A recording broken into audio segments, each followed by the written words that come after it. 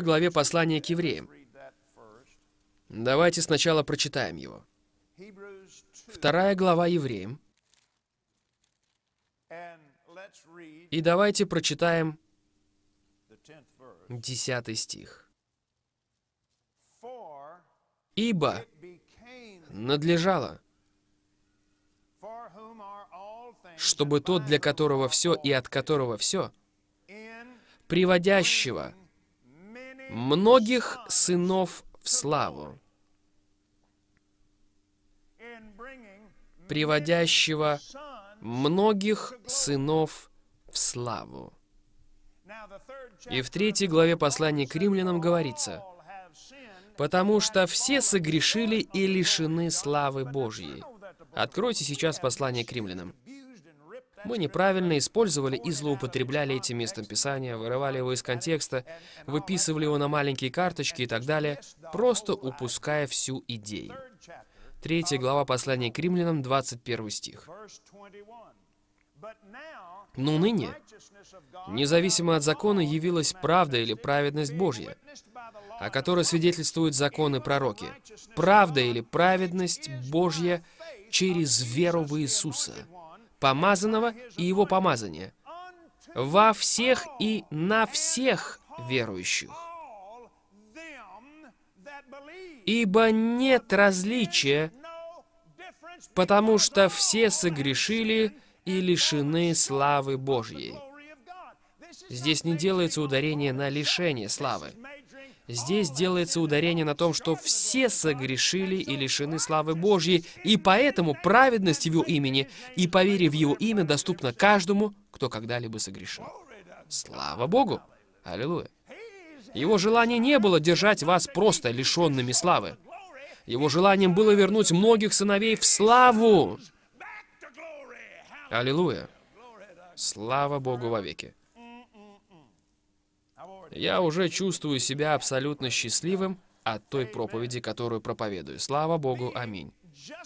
Получая оправдание даром, по благодати Его, искуплением в помазанном Иисусе и Его помазании, которого Бог предложил в жертву умилостивления в крови Его через веру, для показания правды или праведности Его в прощении грехов, соделанных прежде, во время долготерпения Божьего, к показанию правды или праведности его в настоящее время. Да явится он праведным и оправдывающим верующего в Иисуса. Аминь. Вы сейчас послание к римлянам. Откройте восьмую главу послания к римлянам. 14 стих. «Ибо все водимые Духом Божьим, суд Сыны Божьи, потому что вы не приняли духа рабства, чтобы опять жить в страхе, но приняли духа усыновления, которым взываете Ава или Папа, Отче.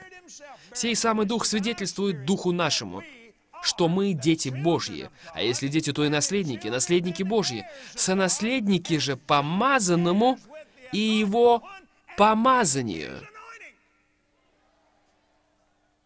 Аллилуйя. Аминь. Слава Богу. Обратитесь вместе со мной к 15 главе Евангелия от Луки. И в кратком содержании этой главы, если у вас синодальный перевод Библии, там написано «притча о блудном сыне». Это не история об одном заблудшем парне. Это история об отце и его двух сыновьях. Это история о наследстве.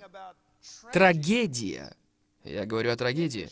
Это трагедия. Не иметь понимания взаимоотношений завета. Это трагично. Никогда не принять своего наследства. Если вы спросите большинство людей, что такое Новый Завет, они ответят, ну знаете, это часть Библии, это маленькая ее часть в самом конце. Нет, это копия Нового Завета. Что такое Новый Завет? Это завет в крови Иисуса. Это клятва всемогущего Бога, данная на крови. Говорю вам, нет ничего сильнее этого. И не понимая такого рода взаимоотношений, не понимая такого рода обетования, не понимая, что это означает, и западный мир знает об этом очень мало, а то и вообще ничего. Мы цивилизовали завет и подправили его, так, чтобы юристы могли зарабатывать деньги, расторгая их.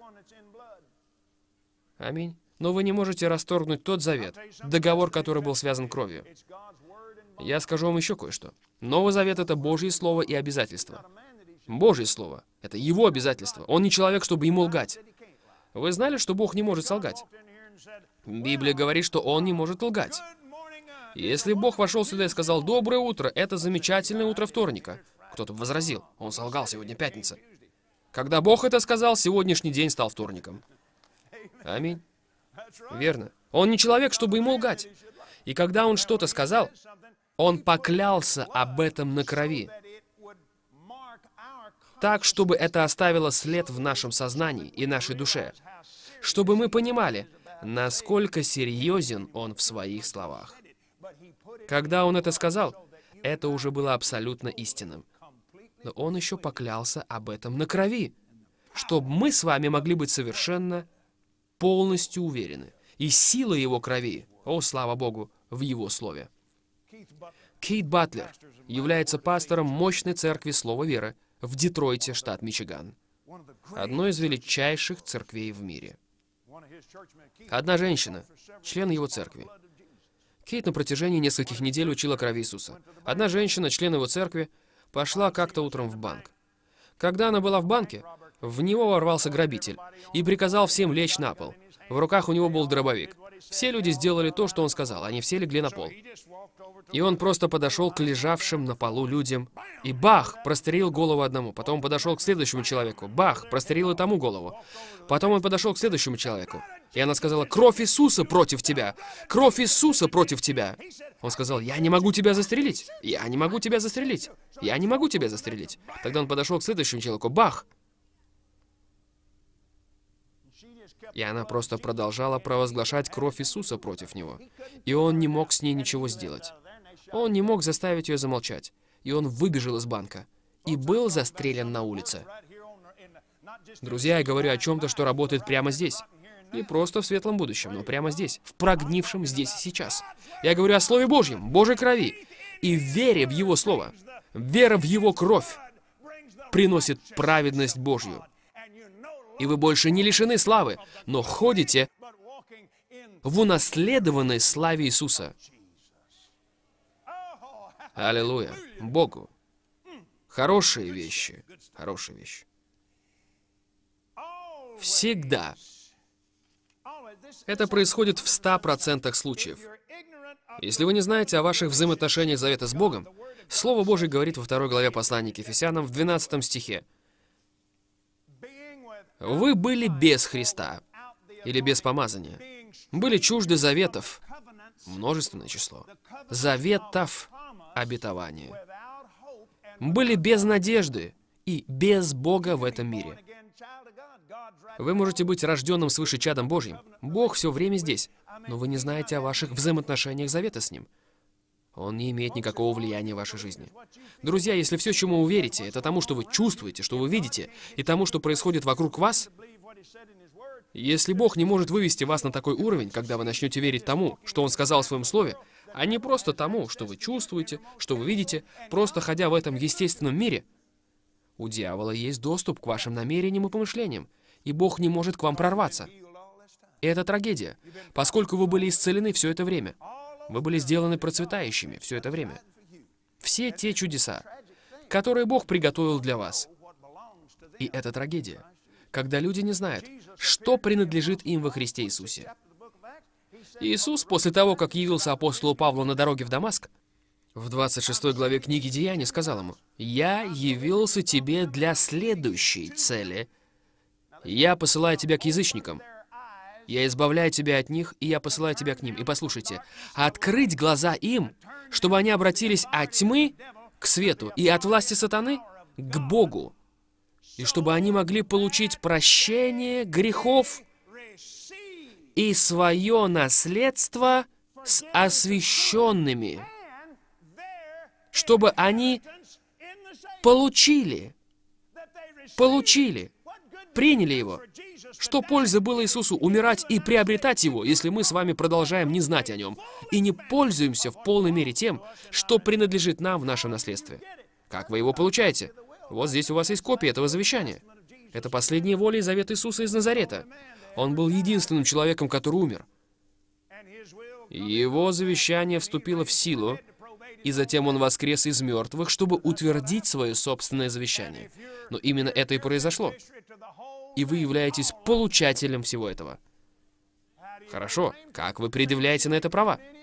Точно так же, как вы предъявляете права на любой другой законный документ. Встаете и говорите. Заявляйте об этом. Слава Богу. Так да скажут избавленный Господом. Кто-то скажет, вот что я вам скажу, это моя собственность. Нет, она моя.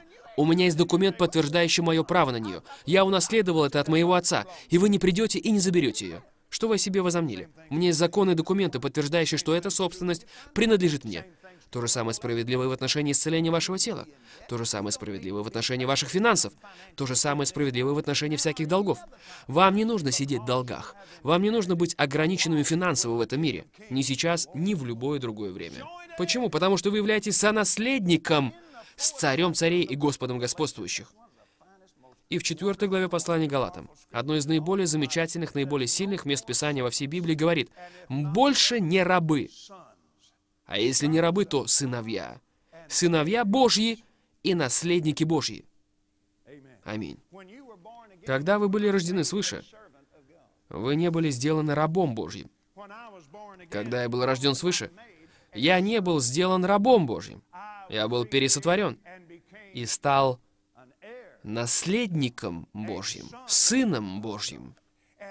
И уже как сын всемогущего Бога, сонаследник с Иисусом, я выбрал быть его рабом. Я выбрал это. Слава Богу. У меня было право выбрать это. Я знаю людей, которые никогда так и не сделали этого выбора. Они просто сделали Иисуса Господом чтобы они не должны были идти в ад. Да, возможно, Он их спаситель. Я не настолько хорошо их знаю, чтобы знать это. Возможно, Он их спаситель. Но Ему нужно быть Господом. Аминь. Аллилуйя. Но все, что Он когда-либо будет делать, это просить вас. Он никогда не будет заставлять вас служить Ему. Нет-нет, потому что вы чада царя. У вас есть определенные права и привилегии. У вас есть права наследства, слава Богу. У дьявола нет никакого права над вами. Он не может просто прийти и начать что-то вам делать. Но скажу вам прямо сейчас. Вам придется применить данные вам Богом, данные вам престолом, права силы и власти в имени Иисуса и обратить дьявола в бегство. Вы можете сказать аминь? Хорошо. Итак, в этой 15 главе Евангелия от Луки Иисус сказал в 11 стихе, Прежде чем я прочитаю это, позвольте мне показать вам эти первые два стиха здесь. В 15 главе я хочу вам здесь кое-что показать. Луки 15.1.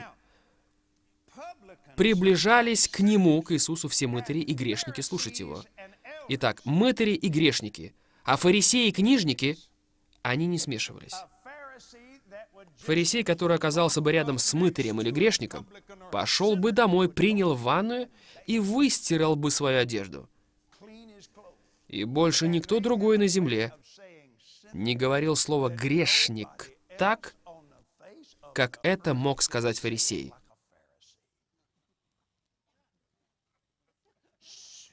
Грешник. Боже мой. О, грешник. И это было присуще не только фарисеям там, в те дни. Прошло не так уж много времени с тех пор, как пришло великое откровение о том, что Бог любит грешников. Приближались к Нему все мытари и грешники слушать Его. Фарисеи же и книжники роптали, говоря, «Он принимает грешников и ест с ними». Но Он сказал им следующую притчу. Он был единственным человеком, который когда-либо собрал грешников, фарисеев и мытарей одновременно вместе. Я не думаю, что они смешались между собой, держа друг друга за руки и обнимая друг друга. Но они все стояли там, и я верю всем своим сердцем.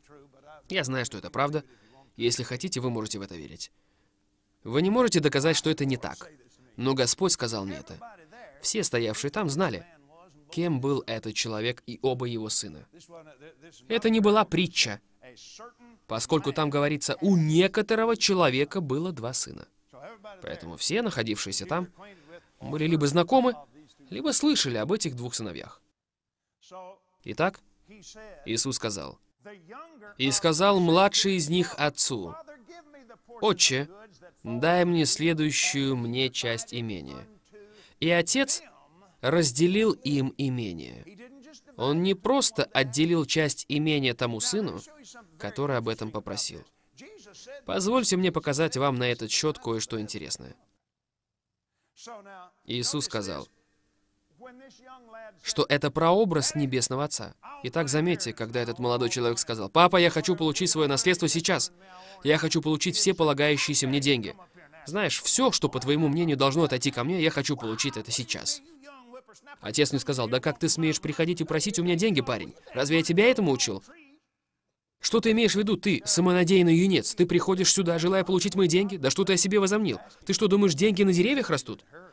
Есть люди, которые действительно думают, что, вероятно, именно это Бог и скажет, если вы у него что-то попросите, особенно ваше наследство. Но заметьте, отец ничего ему не сказал. Он не исправил его, он просто дал ему это. Неужели он не знал, что это разрушит его? Да. Но он также верил во что-то большее, нежели это. Аминь. Ну, я верю, все это процветание разрушит вас, брат Копланд. Разрушит. Одно, от чего оно вас разрушит, оно разрушит вас от того, чтобы снова когда-либо быть банкротом. Но Слово Божье говорит, процветание глупого погубит, разрушит его. Поэтому если вы глупый, тогда вам незачем быть глупым. Библия перечисляет все характеристики глупого. Поэтому почитайте, кто является глупым, и не будьте им. Библия говорит, что нечестивый или глупый процветает в этом мире, а праведный процветает в Боге. Поэтому давайте процветать в Боге. Именно Бог дает вам силу приобретать богатство. Но Он не дает вам силу приобретать богатство глупого. Аминь. Итак, смотрите, отец разделил имение между двумя сыновьями. Он дал второму столько же, сколько и первому, который убежал.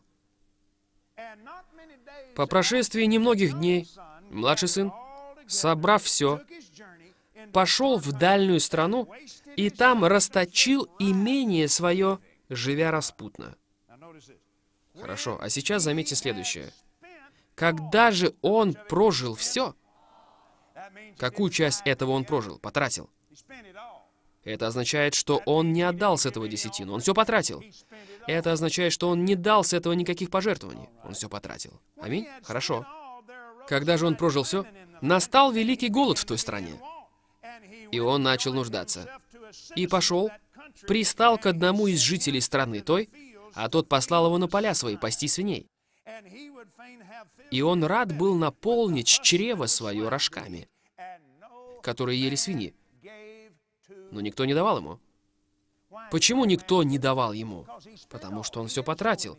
Он не посеял никакого семени, за исключением распутной жизни.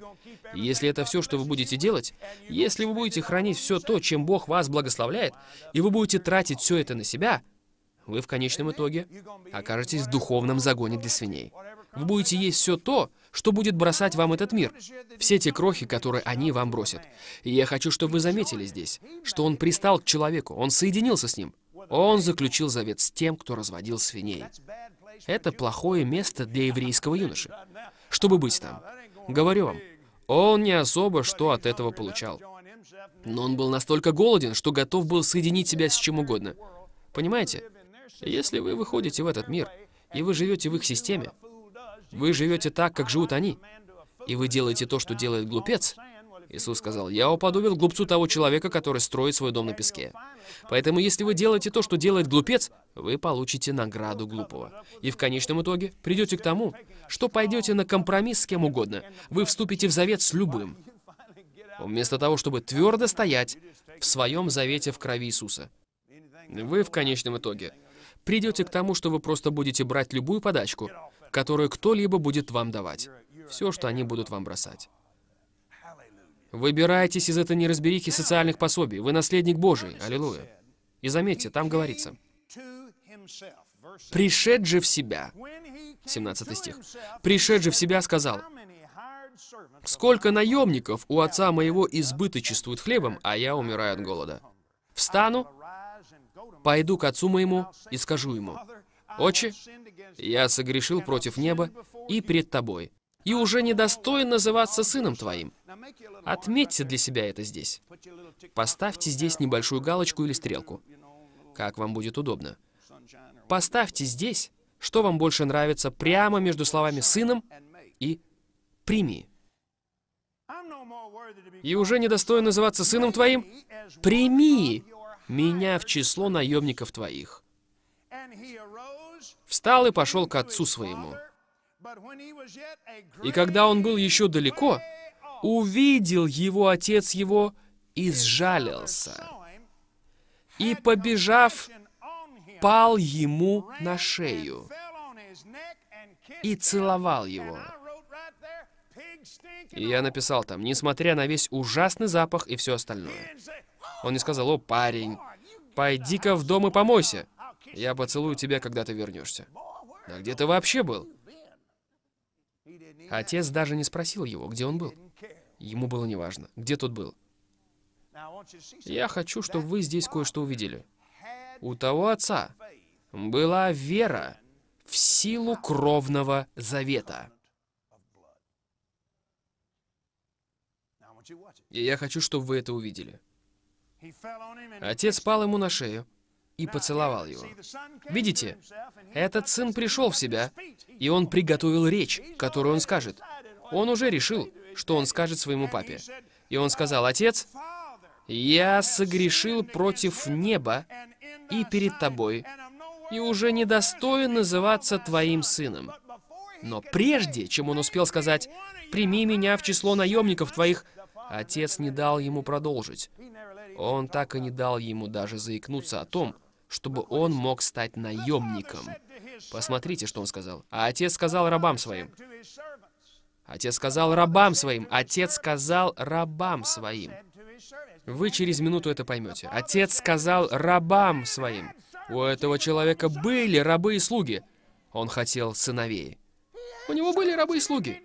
Ему не нужны были еще слуги. Он хотел иметь сыновей. У Бога Всемогущего достаточно слуг. У Него есть всевозможные ангелы. У Него есть ангелы, о которых мы с вами даже не слышали. У него есть группа ангелов, которые постоянно летают. Они никогда не приземляются. Они просто летают вокруг него. И заметьте следующее. Отец сказал рабам своим, принесите лучшую одежду. Какую одежду? Лучшую одежду. Что было этой одеждой? Эта одежда представляла этого человека. Это была одежда праведности. Что касалось семьи этого человека, это означало, что это было в действительности как Божье всеоружие. Вы облекаетесь во всеоружие Божье. Почему у нас есть право облекаться во всеоружие Божье? Потому что мы соединены с Ним в завете в крови Иисуса. Понимаете, этот человек верил в кровь завета и силу завета. Он верил, что он вернет своего сына благодаря этому кровному завету.